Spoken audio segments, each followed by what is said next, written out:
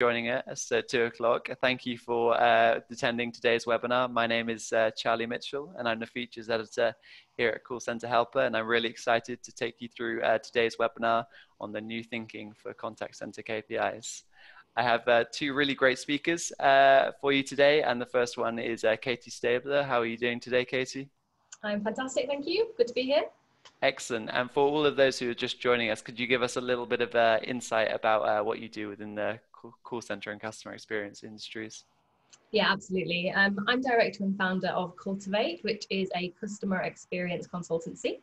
Um, I act as an advisory to organizations, including call centers, uh, helping them to shape and deliver their customer experience strategy and their customer experience promise.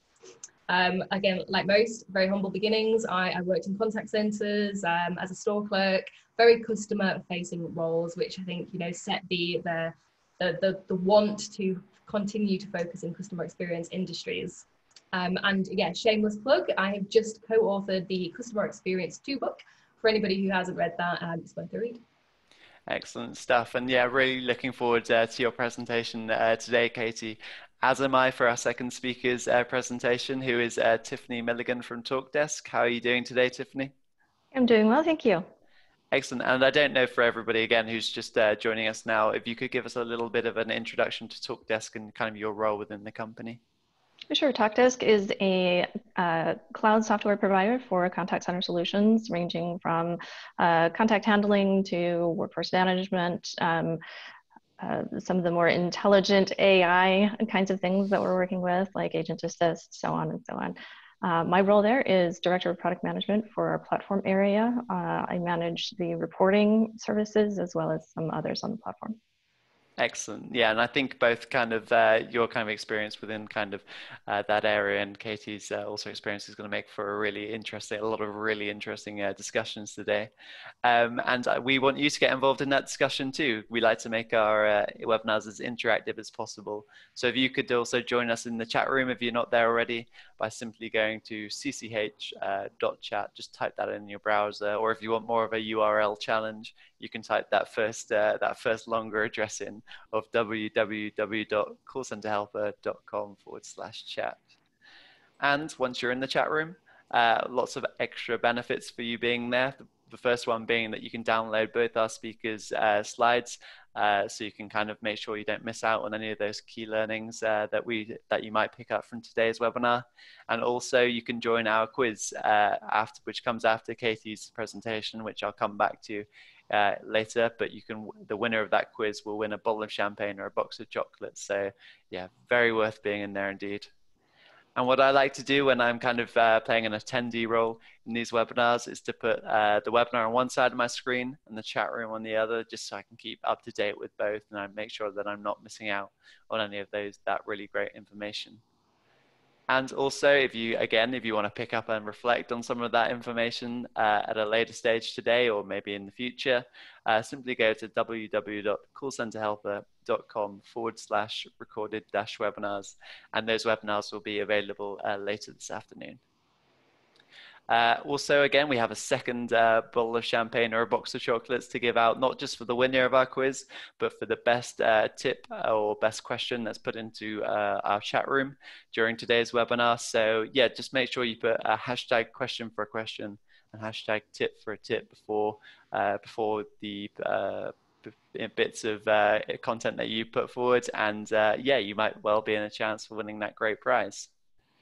But for now, that's enough from me. Uh, it's time for uh, to listen to uh, Katie's uh, great presentation. So I'll pass the control over to you now.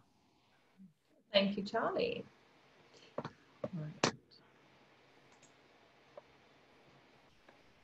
Let's get the technical bit out of the way.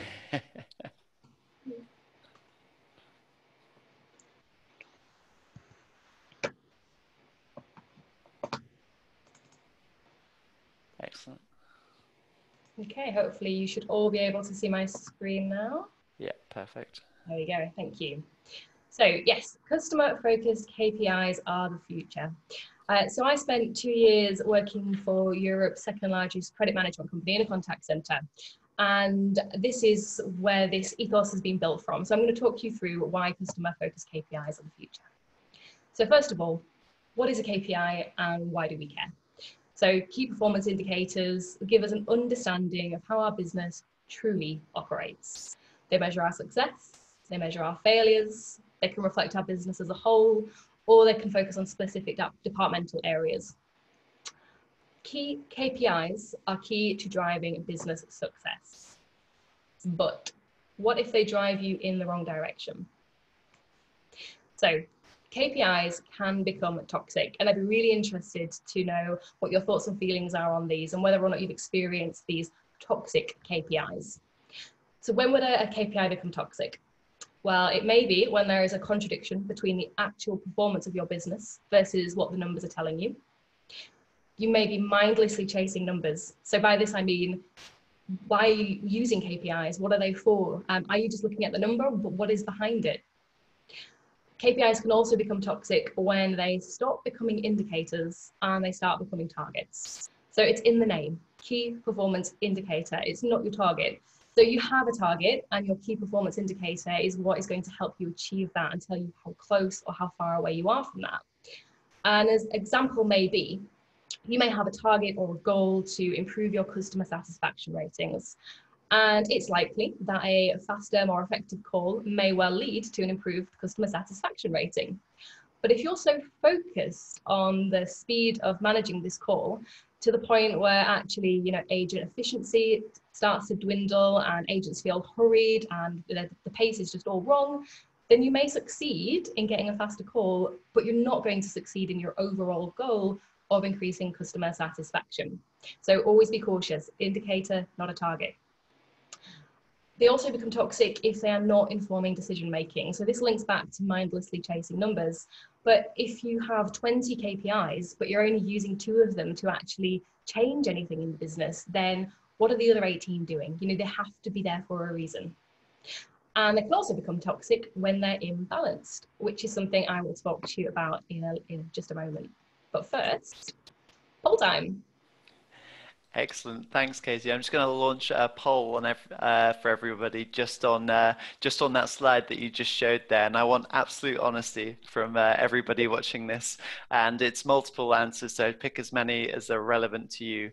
But if you could just put, uh, let us know if uh, your organization has fallen victim to any of the following toxic behaviors. And as Katie kind of briefly went through there, those options are uh, having contradictions between actual performance and your number, chasing numbers without really knowing why, using KPIs as, tar- as targets and not indicators, tracking KPIs uh, that don't form in decision making, and uh, having a set of KPIs that are in balance. So I think this will be uh, really interesting to find out here uh, everybody's responses. Let's give everybody a couple more moments to fill that in. And I will end the polling and uh, share the results with everyone. And as you can see, there is a lot of these mistakes are very common, and uh, it's great that everybody was uh, so honest with sharing that with us. Um, as we can see, the, the most common uh, mistake there was uh, using KPIs as targets and not indicators, which 56% uh, of the contact centers uh, surveys did, which I think is very interesting. Uh, also, chasing numbers without really knowing why and tracking KPIs that don't inform decision making were also quite common. Kate, is there any surprise for you there? No, no, unfortunately not. Um, it is, it's, it's, yeah, history. It's been there, done that. It's a shame that it's still happening, um, but it is the nature of the beast when it comes down to um, people having objectives. Excellent. Yeah, I think that's a really interesting uh, finding. So I'll pass back over to you now to let you uh, let you carry on. Thank you. So we know what a toxic KPI is. I think we've all just um, seen that we're all um, uh, subject to them. But how can we avoid them? So how can we get over having toxic KPIs? And my guidance is one, a balanced scorecard approach, and two, think customer. And I'm going to tell you why. So firstly, the balanced scorecard. Um, if anybody hasn't seen this before or it's um, you know just resurfacing, then just to let you know, the balanced scorecard it first popped around in the Harvard, Harvard Business Review in 1992, I believe. Don't test me on that. So it's been around a while and it had its moment of fame, and some organizations have really continued through with it, others not so much. Um, basically, it translates your strategic objectives to your performance measures. So it's fantastic when we're talking to KPIs because obviously KPIs are performance measures. and it complements what are traditionally the most common used KPIs. So financial KPIs are the most traditionally used and the most common. Um, but the balance scorecard brings in uh, measurements on customers, learning and growth, and internal processes to bring you a more rounded and a more uh, holistic approach to performance measurement. Now, to give you a little bit of an example, um, these are all, I'm sure, very common KPIs that you've all seen before, um, and I've just popped them into each category so you can see how the balance scorecard would work and where these KPIs fit. And if you are taking a very balanced approach to performance measurement, then you should have, you know, uh, around the same amount of KPIs within each section. And they should all have the same emphasis on them as well. So again, it, going back to an earlier point, it doesn't matter if you have five financial KPIs, five customer KPIs. If actually they're not doing much, it, it doesn't matter. Um, but what happens is when you are looking at a balanced scorecard approach, it does, of course, have to be balanced. And unfortunately, customer KPIs tend to be incidental. So most organizations have them, most organizations have them incidentally, when in fact they should be entirely intentional. And here is why. So the more your company attention is focused on what outcomes are important to your customer, the better your company will likely perform on outcomes important to the business. And it is as straightforward as that. But it takes a lot of thinking to get there. Customers are your most important asset. It, you know, doesn't take a rocket scientist to understand that by focusing on your customer outcomes, you will in turn reach all of your business outcomes. And why? So let me start with an example.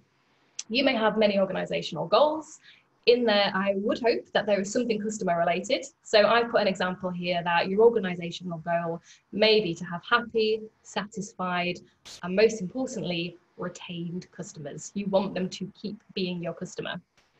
So what customer outcomes do you need to achieve to get to your organizational goal? So we are here now. So your customer outcomes may be that they want the call answered promptly, they want a friendly agent, they want to share their personal or account details just the once. You know, if you're going through multiple channels or speaking to multiple people, customers do not want to keep repeating themselves. Customers definitely want to be listened to. They want ease of journey, no matter what channel you're on. And customer ease is something, if you um, are linked in with me on social networks, you will see I bang on about over and over again. Ease is important. Um, and of course, the solution should be provided. So going back to that um, uh, controversial first time resolution rate, but they're your customer outcomes. What customer KPIs would you have to measure those outcomes? And this is where it starts to get really interesting. So you, these are just some examples, but you may look at average call answer time. Now, actually, the science between average call answer time is that customers are willing to wait a little bit longer than you might expect, as long as they get the good outcome that they're after. Friendly agents, a KPI could be that your customer agent rating is high that your quality assurance friendliness measure is high. You also want to perhaps look at uh, KPI which is related to your omni-channel experience and your multi-agental experience. Customers feeling listened to, how do you measure this? Through a quality assurance measure. Are we telling our agents that making a customer feel listened to is important? Ease of journey, customer effort score. Customer effort score is basically how easy your customer is telling you it was to have an experience with you and then the first time resolution. But what does this mean in a wider context? Because these are all customer focused KPIs. And going back to what I said earlier, it's important to have a balanced scorecard approach. But the point of having customer focused KPIs is that they actually have huge ripple effects across the rest of your KPIs. So let's look at high CSAT and high customer effort score. If these are great, you are likely to have high customer retention which equals high customer lifetime value. So the longer your customer is your customer, the financially better it is for your organization. That goes into the financial sector of the, the balance scorecard. You would also get high employee net, uh, net promoter scores. So if you've got a happy customer, it's a brilliant cycle of happy customer, happy employee, goes back to happy customer. It leads to reduced turnover levels for your staff, um, and of course higher retention levels for your customer. High quality assurance rates, uh, sorry, high quality assurance scores as well. So if you have skilled agents, the likelihood is, is that your overall efficiency is higher. Again, a cost saving measure. And overall, if all of these KPIs are achieved, your customer is less likely to contact you again. So overall, reduced contact time. It might not be that holy grail of the average call handling time, but your overall customer contact is likely to reduce if you get all of these right. So a very simple guide that you can take away to look at your KPIs and understand if they are balanced is this. So first of all, you want to look at your organizational goals. They should always be leading your KPIs. And then we're looking at a balanced scorecard. Now I'm putting customer first and I'm a customer experience expert, so of course I'm going to. That isn't to say it is the most important. It should be balanced, but customer does need to move up from where it currently is in the incidental realm. So you need to look at your KPIs relating to customer, relating to your internal processes, relating to your learning and development and innovation, and of course, relating to your financial KPIs. And then it's important to collaborate. So your balanced scorecard is actually a top-down approach, starting with your organizational goals. But everybody in your organization impacts your KPIs in some way. So you need to collaborate. You need to work with your teams, not in silos. Everybody needs to understand and value the KPIs and know what they're working towards. And then KPIs are not static. So you need to review them constantly. You need to work with them. You need to use them to develop your organization. You need to adapt them when they need adapting. And that is how you will grow. Now, if I had to recommend your absolute customer must haves, it would be these. First time resolution. So, whoever doesn't like first time resolution, talk to me. first time resolution is key customer effort score is so important. Just think of yourself as a customer. How many times do you have experiences where the organization just doesn't make it easy? Um, I had an experience with Bose recently where they had a brilliant warranty policy, but trying to access that warranty as a customer, absolute nightmare. Ease, ease, ease, make it easy.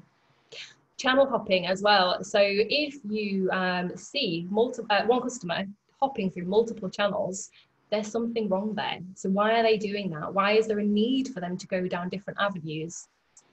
And of course, customer satisfaction score. Overall, you want your customer to be satisfied. So going back to what I said earlier, and if I had to leave you with anything, this would absolutely be it. The more your company's attention is focused on outcomes important to your customer, the better your company will be to perform on outcomes important to your business and that is me. So if you'd like to find out more about myself or that discussion, then please feel free to contact me.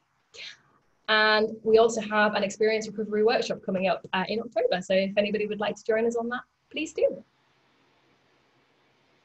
Excellent, great. Thank you for that, Katie. Lots of really great stuff there. I'm just going to take over uh, my screen so everybody uh, can see that very quickly. And uh, yep, here you go. Um, just uh, in one or two words, everybody, if you could quickly write in the chat room, what did you like best about uh, Katie's presentation? It's really uh, great for, uh, it would just be really great to hear your, your thoughts in that uh, discussion, what we just had. Um, but yeah, I, I, made loads of really helpful notes. There's lots of things that I personally took away from uh, your presentation, like using KPIs as an indicator and not a target, I think was a very key message that you started off with.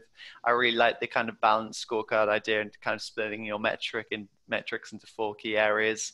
And uh, once your message that once you reach key customer outcomes, um, you'll reach many of your other targets um, as a kind of knock-on effect was interesting. And I really liked the kind of idea of kind of channel, tra- tracking channel hopping as a mm. metric. I think it's it's uh, it's an important metric, but not one that gets much kind of airtime so to say. But yeah. So that was really great to hear. Lots of uh, lots of brilliant takeaways there.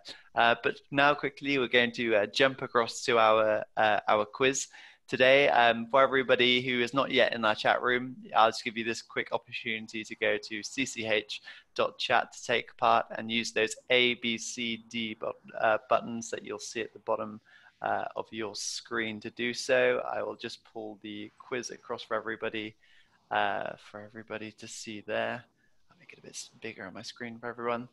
Excellent stuff. So I'll let you I'll give you a couple more moments um, to log in uh, to do that. Also, one other point that I forgot to um, say that I really liked from your presentation, Katie, was uh, your point on um, the fact that everybody in your team impacts your KPIs. So making sure that you kind of collaborate around them. That was another point that I really took away from that. Is so yeah, lots lots of points that I took away. Uh, Excellent. Uh, I see that we already have 100 people in the uh, chat room ready for the quiz, so let's get going with this uh, and start it off. Uh, so the first question that we have for you today is true or false, occupancy is a good KPI for assessing agent productivity. And if you logged in slightly earlier, you would, might have heard us having, uh, uh, having a little discussion um, about this metric, so you might have had a slight giveaway as to the answer there. But yeah, we'll just give you a moment to quickly uh, log your answers in. Uh, true or false, quite a simple, uh, simple scoring scale. Maybe not a simple question, but we'll find out. Excellent. I'll give everybody a couple more moments to fill that in. And I'm pressing next. And yes, most people uh, did get that one right, which is really great to see. Uh, correct answer was false. And the reason is that occupancy figures are a measure of how successful your staffing calculations have been. In no way are they an indicator of how well your uh, advisors are actually working. So I think that's a really great teaching, that one. Um, so we have Alex in the lead currently as we move on to our next question uh, which is which of the following KPIs is considered very important by the most contact center professionals? Is it A, customer effort, B, first contact resolution, C, net promoter score, or D, quality scores? And this research actually comes from a uh, 2019 call center helper uh, report, uh, which we uh, yeah, which we made in autumn last year. Excellent. So I can see lots of answers coming in now. So I'll quickly uh, quickly move on. And yes, it, wow, it's really impressive to see that uh, a lot of people getting that right. Good to hear that. Good to see that people are reading my reports, which is great. Um, and yeah, the reason for that is 68.8% of contact center professionals consider FCR a very important metric, almost double the percentage that feel uh, the same way uh, uh about NPS. And uh, that's interesting considering the NPS conversation we had earlier too. Uh, so Simon is uh, now in the lead as we move on to our next question.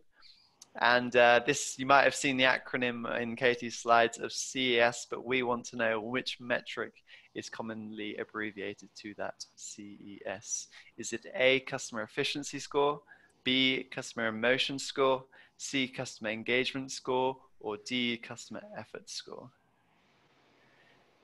I think this, yeah, quite all answers are quite similar, so this might one might be tricky.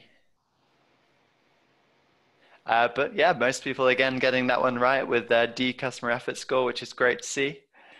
And uh, yes, the customer effort score derived from Harvard Business Reviews, a well-known article, Stop Trying to Delight Your Customers, which revealed that when we lower effort, we can improve customer satisfaction.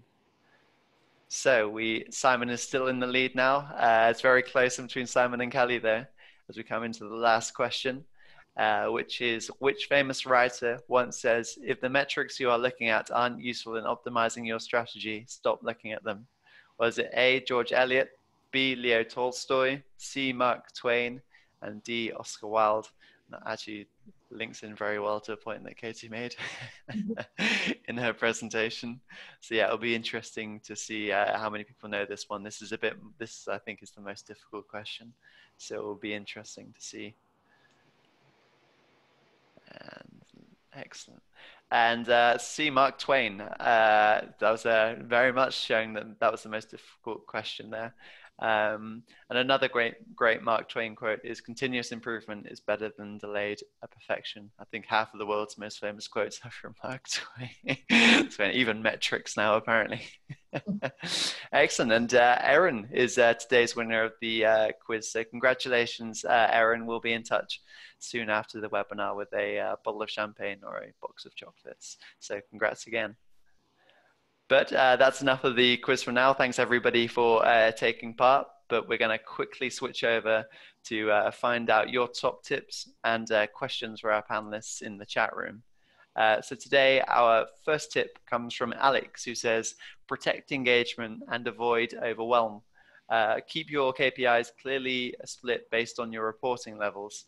Only drive a- agent controllable metrics within the call center.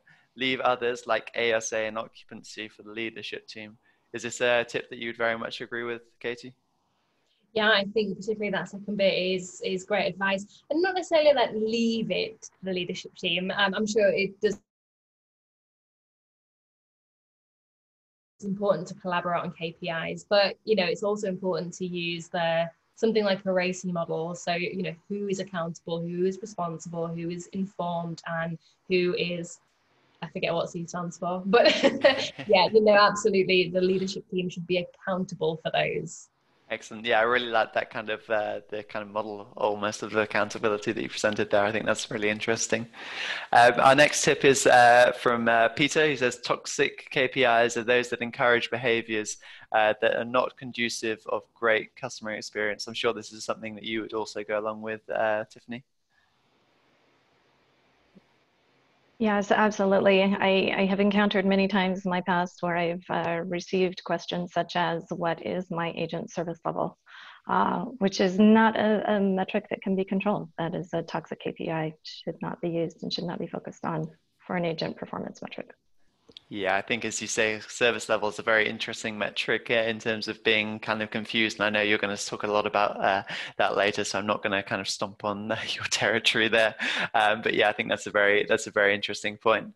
Um, so another question now, and from Alex. Uh, it'd be great to hear your both of your thoughts on this one. Maybe it's and that is what would the optimal number of KPIs be for a standard agent?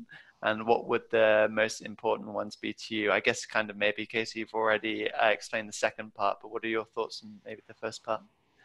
Yeah, I mean, I don't think there should be an optimal number. You know, I, I, don't think that that should be something that is in the forefront of an agent's mind either. You know, what should always be in the forefront of an agent's mind is that they are able to, they are supported to, they are empowered to provide a good customer experience. And as long as that is what they are focusing on, the KPIs, they will be achieved. They'll be there in the background. But I'd hate, I just hate the thought of agents just constantly thinking like service time, average handling time, call wrap up time. It's just, it like someone just said in the previous uh, message, it's it's not conductive to good customer experience or a good agent experience. Yeah, yeah, I think as you say, it's quite, it's quite funny the image of just kind of advisors counting how many KPIs that they're they're responsible for. Yeah, I think that's a, that's a really good point.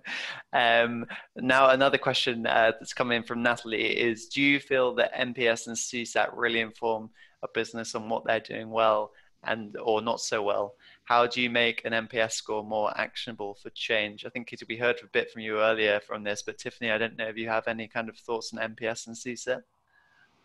Um, I do. I, I, do think that CSAT can inform business. Um, most often, you'll be receiving more detailed scores that compile your your final score. That's the one that usually gets communicated. But the details in the individual questions on CSAT can be quite helpful in terms of knowing where to focus to improve that customer satisfaction. Uh, NPS, a little more tricky. It's a single question. Um, that's a little bit harder to pinpoint. I know that at TalkDesk, we actually request comments. Um, and so oftentimes the comments that we receive along with the NPS response are very informative to know where to focus to improve that customer experience. Yeah, I think that's uh, that's a really good point, and I I do very much kind of see what you're saying in terms of kind of it's, it's much more difficult with NPS because it is that set question, and with CSAT there is a bit much more flexibility to that. So yeah, really interesting, uh, really interesting stuff there. Uh, we have an opinion in from uh, Gabriel now who says uh, I think it would be worth relating KPIs with KPOs to avoid confusing KPI targets. I've not actually heard of KPOs. I've heard of KPA uh, KPA before, but never a KPO. I don't know, Katie, if this is something you've come across. It isn't. I'm, I'm, my mind is reaching to key performance objectives, perhaps. Uh, maybe, yeah. Potentially. Um, let us know more, Gabriel. Yeah, yeah. I think I've heard of uh, key performance uh, KPAs as uh, key performance areas. So maybe objectives is the same thing. Have you have you come across that one, uh, Tiffany? I haven't. I, would be yeah. interested in understanding more about that as well. Yeah, this is very interesting. Yeah, Gabriel, if uh, if uh, you're in the chat room, it would be great to uh, great to hear what uh, KPO uh, your interpretation of KPO stands for. Um, yeah, so another question that we have now in is from uh, Deborah, who says, "How do you balance an operations KPIs with with WFM KPIs. Um, but I don't know what your thoughts are on this one, Katie. Um, I might hand this one over to Tiffany because I don't know what UFM means. um, I, am not quite sure how we're defining operations KPIs. Mm. Um, if we're trying to define that as maybe some financial KPIs or some customer experience KPIs, like Katie talked about, um, for purposes of my answer, I'm, I'm going to uh, uh, refer to them as the contact center operations, which is agent performance metrics, um, and the what I refer to as queue metrics. Um, the the relationship between the two is very heavily linked. So with your WFM, I'll talk a little bit about this in, in the presentation I'll be doing today. Uh, your WFM KPIs are meant to optimize your staffing, your planning, your hiring, and your scheduling. Um, those metrics are driven by the operational uh, actual values that the agents are doing. So when agents reach their particular uh, thresholds or targets or whatnot, range, which I'll talk about again, um, then that lines up with your WFM KPIs. So it's something of an inherent balance. Hmm. Yeah, I think there's lots of uh, interesting points there. I think obviously although kind of Deborah's maybe kind of split her KPIs very uh, differently, as you say, I think there's lots of WFM KPIs that maybe the uh, contact center team and advisors need kind of a knowledge of, especially maybe if you're putting it up on wallboards or dashboards. Otherwise, you'll just serve to kind of maybe confuse them. But obviously, teaching um, advisors about metrics like adherence is very important. Um, so and taking them through some power of one training is very well. I mean, your WFM team, I'm sure, will thank you lots for that. Um, but uh, you made lots of references to your presentation that's about to come up, Tiffany. So I think now is probably the perfect point to hand over to you and uh, let you uh, let you share your presentation. All right.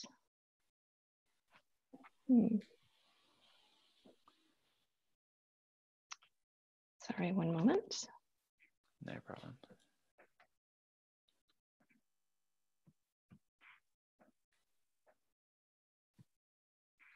Here we are. Perfect.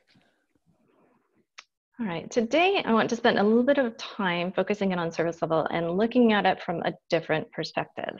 Uh, my experience over the last couple of decades in the contact center industry uh, leads me to believe that it's not well understood so it's commonly the most frequently used metric, yet the least understood metric. So I want to take a closer look at that and how we should be uh, looking at service level and working with service level. So the first question is, what does service level really tell you? Uh, most often, we're just interested in keeping that service level in the green, right? Uh, what I find is oftentimes we have agents who are very good at what they do. They get promoted to team lead. They're very good at being team lead they get promoted to supervisor. But no one ever really tells them anything about what service level is, why we have it, anything other than just keep it in the green. So really what service level is, what service level is telling you at a glance is, are you losing money?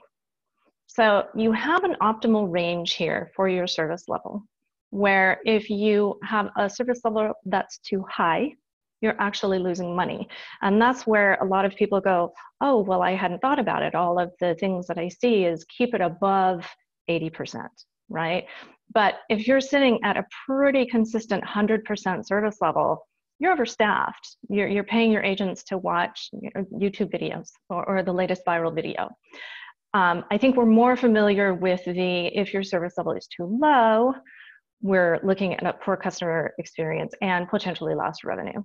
So rather than looking at it as keeping it in the green, we really need to look at it as this is the optimal place to be when we're providing our customer support. Where can we balance the, the customer experience with the most cost effective or efficient way that we can provide that experience. And that's where service level brings together all of those metrics to give you a very quick glance at whether or not you're in a good optimal operating range. So why? Why does service level give this information to you? And we talked a little bit about um, these WFM KPIs. Um, the inputs that go into WFM, we're looking at arrivals, what your abandons or abandon rate is, how long it takes to actually handle a call, So your actual talk time, hold time, your ACW time, which is your average handle time. We're taking a look at shrinkage. What kind of absences do we have? What kind of unavailable time do we have for breaks, trainings, meetings, so on. And then occupancy, which we talked about earlier, can't be controlled by the agent. But we also need to take that into account when we look at our forecast, excuse me, forecasting and scheduling, because if your occupancy rate is too high, you will burn out your agents and your attrition will go up if your agents are on the phone every minute of the time that they're on shift and not on break, they'll burn out, right? So having these metrics as the input into your forecasting and your scheduling shows up when we have variances in these metrics, it shows up in your service level. So if we think about it as a mathematical equation, we put all of these things into the WFM system and we said we want our service level to be, and I will just use 80%, right? And so we have all of those things in. It comes back, it tells us, okay, get this many agents, have this many agents available during this period of time. Here's their schedule.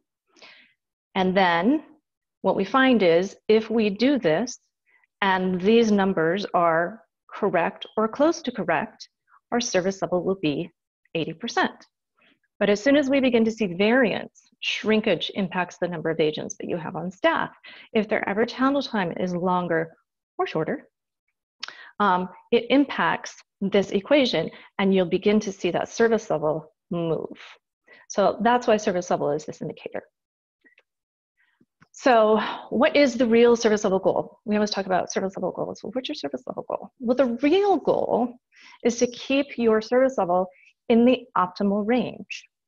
And by that, we're talking about the most, again, the most cost effective manner to provide the best customer service that you can.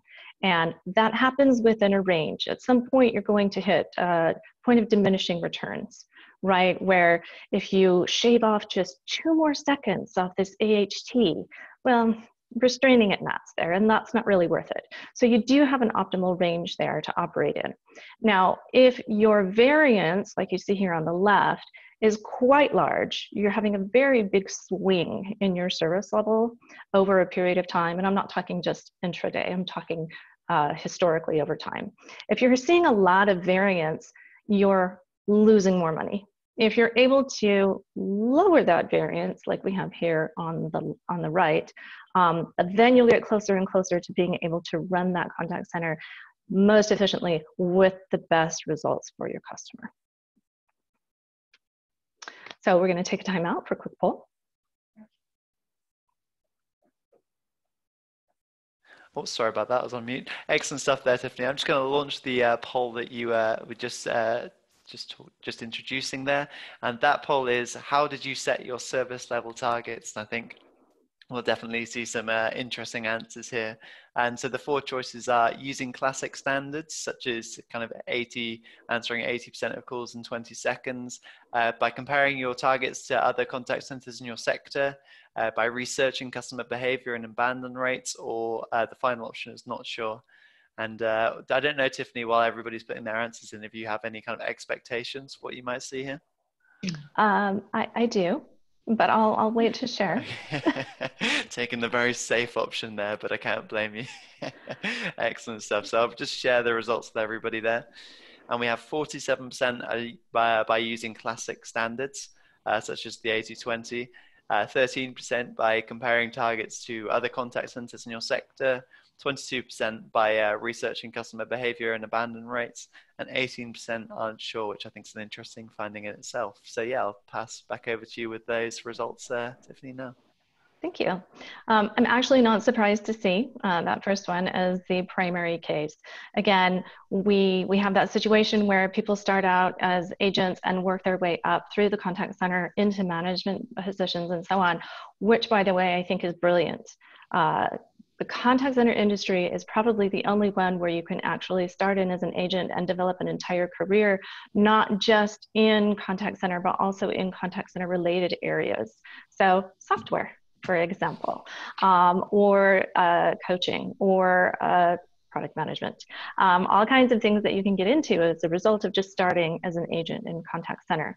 But oftentimes, like I mentioned before, we're not necessarily taking a look at why we're measuring what we're measuring. And that's really important. So here we go. First thing we need to do is we need to measure our service level correctly. So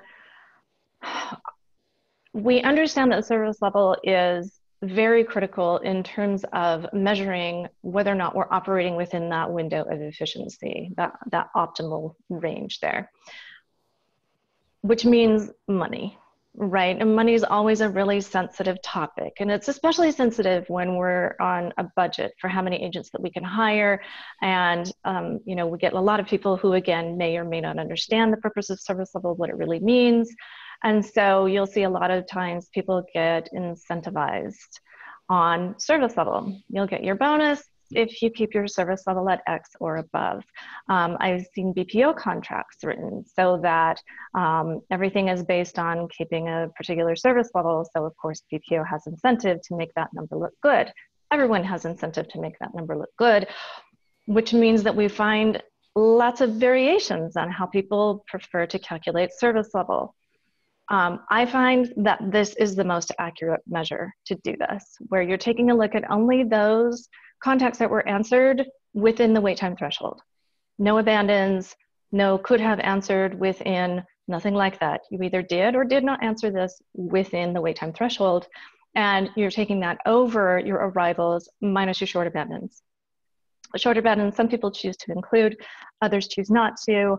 I find it more useful to not include them because short abandons, generally speaking, you don't have opportunity to pick up those calls. Um, so that's why I have a tendency to exclude them. If you define things in different ways, you will have to balance it with a different metric in order to get a true picture of what's happening in your contact center. So I've seen some calculations where they will say, well, we count it as within service level if it was abandoned within service level because we could have answered it had the customer not abandoned. Okay, but what that means is that you can have a really, really high service level and a really, really terrible abandon rate. And that doesn't give you that balanced picture. You have to make sure you're looking at both. But very infrequently do I see someone saying, We're going to provide you a bonus if you have a really good service level and a really low abandon rate they're not taking that balance into consideration. So my recommendation really is to use a correct, I call correct, a correct measurement for service level. Yes, it may come out with numbers that aren't nice, uh, especially if you know we're prevented from doing hiring and staffing in the way that we want to. But that does provide argument back to say we can't move this metric unless we have these things in balance, which includes additional staff. Second recommendation, calibrate your wait time threshold. So this goes back to the how are you measuring your service level? Industry standard 80 20, 90 30. I constantly have people asking me in the office, what's the industry standard service level? The answer is there isn't one. There isn't an industry standard. Your service level needs to be based on what your company wants to accomplish and how your customers um, how I would say, I guess, how long your customers are willing to wait, but that doesn't quite sound right. Again, it's that balance between that efficiency and that customer experience. So don't just use an 80 20, don't just use a 90 30 or something else. What I recommend is going in, taking a look at your data, and using your average time to abandon.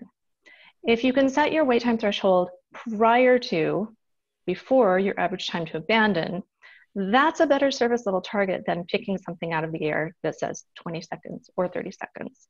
An even better method would be to actually go in and take a look at the time to abandon. Take a look at that histogram. See where a lot of this is falling out because we know that average can be skewed, right? If you get a specific spike or it's a hard month or something like that, you've got seasonality, maybe not the best representation. So go in, take a look at the spread, and then find out where it is you want to put that particular threshold. I do recommend that you compare that against CSAT or NPS if you can find a decent correlation or pattern between the two. Obviously, we talked about NPS being a single question, doesn't always mean it's because my NPS is low because you didn't answer my call in time. But if you're comparing the two, where you're looking at your, um, your wait time threshold against your CSAT and you're seeing any kind of movement there that you can correlate, I recommend that you balance against that as well. recommendation number three and number four we'll get to you guys are already doing this because you're contact center professionals um, to to help with your service level again we go back to that input on on the wfm metrics and the staffing and everything so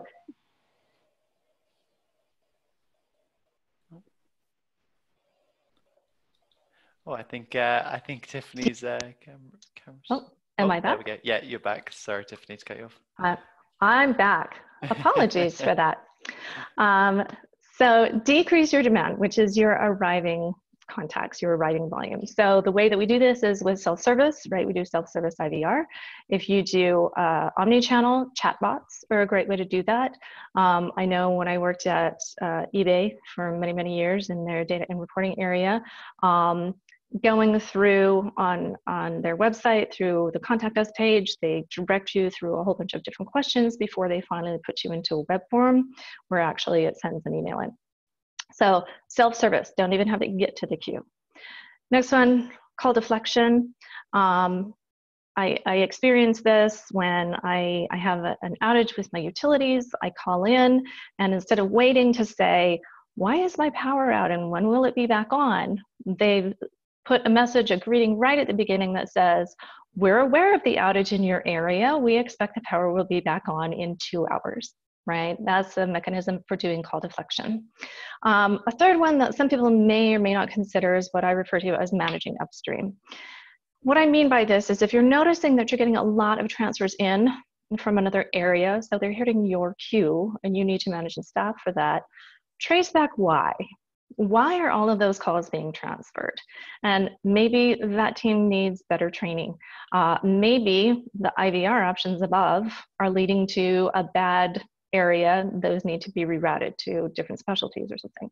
So take a look at upstream and see if there's something that you can do to decrease the arrivals into your queue. Fourth, increase your supply, which of course is your agent hours. And this is where we all come into managing those agent metrics, right? These agent metrics here impact what's happening with those other metrics that are with the WFM system, those staffing and planning metrics. Manage your absenteeism as much as you possibly can. Of course, agents are responsible for their own availability. If they're supposed to be on the phones, they need to be on the phones. So if your agent availability is 50%, find out why. If that's not one of the things that you took into consideration for your forecasting and trying to come up with that optimal, uh, optimal number, find out why. Do what you can to change that. Um, adherence, of course, so we're talking about with availability, you're supposed to be on the phone. Adherence is when you're supposed to be on the phone. Let's not schedule meetings first thing Monday morning after we've been closed on the weekend. Probably a really, really high time when you'll get a lot of volume in there. And if you have folks that are going on break, coming back a little late, arriving late, right, that's really going to impact that, especially in those really busy times. Average talk time. This is a tricky one. Katie mentioned this in her presentation as well. Yes, it's good to, to optimize average talk time in some cases. If you're operating a contact center where it's not, um, what am I trying to say? Some contact centers you have very heavy relationship based. Usually that's B2B. You have an assigned account manager, and that is the person that you interface with on a regular basis. And maybe if you're not available, maybe that flows to a backup with a, a more general contact center. That it doesn't matter. Your talk time doesn't matter there because what you're focused on is actually maintaining that relationship, whether it takes a, a quick two minutes to say, yep, got it taken care of, or it takes two hours to solve a problem. That's the focus. So make sure that you're matching your, your average talk time goals to exactly what it is that you're trying to accomplish. If that's not the target of your inbound contact center, it's more just regular calls coming in like that, that's a better time to focus in on the average talk time. But again, as Katie mentioned, be careful I have a friend who was doing some consulting, was walking on the floor and heard an agent say, I've been talking to you for too long. Could you please hang up and call back in? Be careful with this one. It's a good tool. If you use it correctly. And then finally, ACW, of course, anything that we can do to optimize that, if we can have automations, if we can have the ability for an agent to be taking notes and populating some things in CRM or other systems while they are handling that contact, that helps to reduce that ACW time. So thank you very much for your time and attention. I appreciate it. This is, this is a lot of fun. Excellent, great. Thank you for that, Tiffany. Again, lots of really great uh, points there, and I've made a note of, uh, a few of my really key takeaways. Uh, starting off, obviously, with the kind of uh, the service level part and kind of the the being the real goal for service level um, is to keep your uh, service level in the optimum range and variance. And I've just seen that uh, somebody's quickly launched a poll on the screen, and that's for everybody. now I'll just uh, sorry to cut, cut, me off in uh, the middle of uh, my uh, middle of my uh, takeaways there. Um, I'll just share my screen with everybody too. Um, and that's if you want to see a demonstration of TalkDesk's uh, of TalkDesk's any of talk TalkDesk's solutions, um, the, the, dashboards and the cloud solutions, everything like that, which can really help you align your metric strategy um, yeah, so if you just quickly put uh, whether you'd like to see a demo of that or not. Uh, but quickly getting back to the key, my key takeaways from your presentation, Tiffany. Um, so that I thought on service level was really key. Also, your point around uh, having promoted staff kind of question um, question why uh, question why they're they're measuring the um, why the measures the metrics that they're using and really questioning the reasons behind that um, to understand more of their role. I think it was a very good point and kind of measure and your points around measuring service level correctly and calibrating a wait time threshold was very interesting. So yeah, lots of really uh, lots of key uh, takeaways there. Um, so uh, just another quick point um, that also if you're interested, uh, TalkDesk are running another webinar uh, with uh, uh, with Dennis Snow, a fireside chat is uh, on building a model for CX greatness, and Dennis was uh, played a key role in kind of all Disney's uh, CX uh, strategy. So I think that'll be a very interesting one. And Beth uh, will leave a link in the chat room if you're interested in, in registering for that. Uh, but back to this webinar, and uh, we're now looking at some of the uh, top tips and questions that were sent in during Tiffany's presentation. And um, a tip sent in from Alex uh, was to engage staff in creating their own shift patterns, especially uh, with work from home. Uh, set some really simple guidelines around what the minimum requirements are, and as long as they're met, you'll have a better engaged and more loyal staff. I don't know what your thoughts are on this uh, on this tip, Tiffany. Um, I agree. Um, I think we all know that we have fluctuations throughout the day or throughout uh, certain periods of time during the week or, or month even you can't always be chasing optimal uh, optimal service level at every minute of every day. And so being able to stay within that range that we talked about this is perfect to be able to do that. And, and absolutely it will engage your employees better and and keep them more satisfied. Great tip Excellent. Yeah, and I, have uh, just come across the uh, next tip now. It's caught my eye, and that's uh, from Gabriel, uh, who's responding uh, obviously to our discussion about what KPO uh, stood for.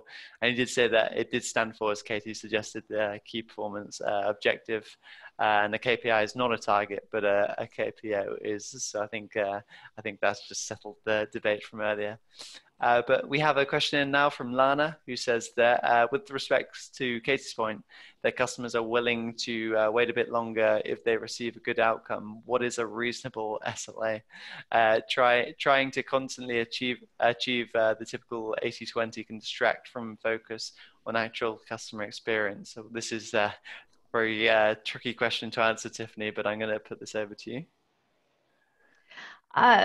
it's whatever your customers can tolerate. Uh, we talked a little bit about that, where it's take a look at their average abandon time, take a look at um, any correlation that you have to CSAT, find out where your customer's tolerance level is. You're absolutely right. 80 20 may not be the perfect fit for your particular contact center. So tune into your customer's behavior. What are they doing? When do you start to see those kinds of things drop off? Customer satisfaction drop, your abandon rate increase, and so on. Yeah, I think it kind of links as well to an important point that you made of kind of comparing, uh, see what impact your other metrics have, like abandon rate, and that will help guide you on SLA. So yeah, I think that's a very, very interesting point. Um, now we move on from to another question uh, uh, from Christy, and that is uh, we use service level and abandon uh, abandon rate, which we monitor pretty closely. However, having uh, gone away from AHT, it's been a struggle to meet those as also having a huge push on uh, first time resolution. Our call center is small, less than 10 in the main queue. And if we have one person that takes a person take out our SL tanks, is is service level a good measurement or should only be uh, should it only be an indicator sorry for butchering that question christy um, i don't know uh, katie you discussed this a little bit in your presentation but i don't know if you have a clear answer to this one um, no, it's a tricky one, isn't it? And again, when you're a small contact centre, it does tend to make things harder, and you do feel the impact of one less team member. Um, I think you know, it go actually going back to Tiffany's point, what she just said. I think it's um, a really eloquently put point. Is that you've got to listen to your customers and, and use drive your KPIs using the insight that you have. And actually, if you're really struggling to meet the um, existing KPIs that you have, what in particular are you struggling with and what impact if any is that having on your customers mm. yeah i think that's a, yeah it's a very interesting point i think um, yeah very uh, very good and making sure that your metrics aren't contradicting one another is uh, is a key point uh, in response to that um, another qu- a tip now in from uh, Seema, who says that it's important to link the key KPIs with agent and team leader personal goals. One of ours is zero complaints upheld uh, about agent behaviors. I think that's uh, that's an interesting uh, tip there, Seema. And I see another one now coming from Grace also, who says involve your team in setting up KPIs. It helps with engagement and commitment. I think that's also a very good tip in terms of kind of making sure that uh, agents know what's expected of them too. I don't know what your thoughts are on this tip, Tiffany. Um, I agree. I think that there are some measurements that are important in terms of understanding, again, that balance between customer experience and efficiencies. Um, but I think um, having them educate us about what their experience is with a customer to help define what is the right uh, level or the right area to be uh, focusing on, maybe a little more so than a different area, I think is important. You're right, it does help with engagement. Excellent. Yeah, I think uh, yeah, I think lots of again, lots of uh, really great points there, covering lots of really interesting areas of uh, KPIs, which is great. Um, we've got a question now sent in from Dustin, who says, "How do you track major incidents that spike your incoming contacts and thus impact your service levels?" Um, I, I think Tiffany, this is probably another one uh, for uh, one for you. I will tell you that is perhaps the most challenging um, because uh, because when it happens, everyone's aware. But when you go back and you're looking at it historically, people forget. And so that is the number one thing that if I could solve in some kind of reporting system to be able to add notations for certain things, I would be uh, very wealthy. Um, it's something that I continue to try to investigate. Um, I think uh, the the best that you can do is to try to at least make some kind of notation on anything that someone is consuming uh, to help them remember that this was the spike. Um, obviously, um, wanting to investigate where that spike came from so that doesn't happen again, if possible, um, is important as well. So. Yeah, excellent. I think it's very interesting. Your service level, uh, start of your presentation about service levels seems to have really uh, struck a chord with our chat room and lots of interesting uh, debates going on there. Uh, and one kind of um, final tip uh, from Brianne is to identify your average time to abandon and set your service level uh, right for that time frame. I think that's an interesting one. I don't know, Katie, if you have any thoughts on this one. Yeah, I think it's a great tip. I, I think um, absolutely. And again, it's about listening. Like, what are your customers willing to tolerate? Um, and just going back to the last point that you made about, um, you know, incidents. I, I ran um, an incident recovery program in um, the, the credit the call center that I mentioned earlier. It was named ICE, Impacting Customer Events, and it's all around um, when issues and incidents happen and the recovery of those. Um, and actually, that workshop I mentioned that's happening in October is all about that. So if you're interested in um, incident recovery and how to avoid it and how to fix it when it happens, it's worth joining. Excellent. Yeah, another piece of uh, really great advice, and uh, it's really great to uh, see everybody getting involved in the chat room. And I think it's provoked lots of interesting discussion. But unfortunately, that's all we do have time for today. So, if in the chat room you could just put in one or two words, uh, what did you like best about the webinar? We always like uh, hearing your feedback. So, uh, yeah, it'd be great if you could add that in there. And we do have time for a winning tip. So, a bottle of champagne or a box of chocolates goes to uh, Jen today, who says to coach the behavior and not the metric. A very simple but very, I think, important and great tip there from uh, from Jen. So yeah, the congratulations and the bottle of champagne or box of chocolate. This is yours.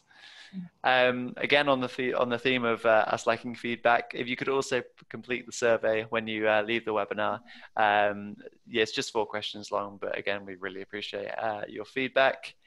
And uh, also a quick reminder to you all that if you uh, really want to catch up on any of today's key learnings from the webinar, uh, just go to www.callcentrehelper.com forward slash recorded dash webinars, and that will be available from that hyperlink uh, from this afternoon. Uh, also, make sure you uh, register for our other upcoming webinars in the series, and the link is at the bottom of your screen there. Uh, simply www.callcentrehelper.com forward slash webinars. But all that's left for me to do is to say thanks to both our speakers today. So thank you for joining us today, Katie. Thank you very much for having me. Excellent stuff. And thank you for also joining us as well, Tiffany. Thank you. It's a pleasure. Excellent. Great. And uh, thanks to everybody for watching. And we'll be back next week. So we'll see you then. Bye.